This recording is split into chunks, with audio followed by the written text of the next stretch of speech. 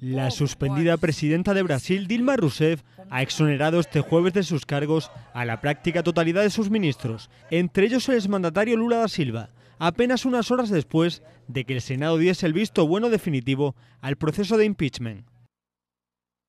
La excepción ha sido el presidente del Banco Central, Alexandre Tombini, que previsiblemente seguirá durante el mandato interino de Michel Temer. Tras una maratoniana sesión de debate de 20 horas, una mayoría de senadores ha votado a favor del juicio político en el que se dirimirá si Rousseff incurrió en irregularidades maquillando las cuentas públicas del gobierno.